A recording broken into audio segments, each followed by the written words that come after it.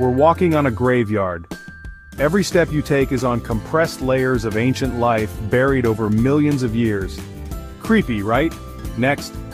Prepare for magnetic mayhem. Earth's magnetic field can actually flip, turning our compasses upside down and wreaking havoc on electronics. Imagine the chaos. Now let's talk about a ticking time bomb.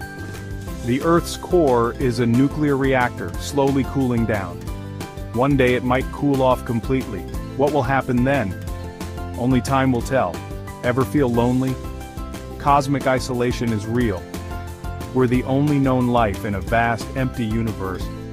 Just let that sink in for a moment, finally. Our own world holds deep dark secrets. Believe it or not we know more about the moon than our own deep oceans. What mysteries lie beneath? The answer is still out there, stay curious folks. Because our planet is full of surprises.